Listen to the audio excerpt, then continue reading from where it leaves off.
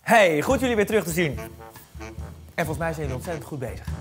Maar zijn jullie ook klaar voor de volgende vraag? In Nederland worden er verschillende bronnen gebruikt om drinkwater van te maken. Zo halen we water uit de Maas en uit de Rijn, waar schepen doorheen varen. Ook gebruiken we soms grondwater, wat wel 10 tot 100 jaar oud kan zijn. En nu mijn vraag aan jou.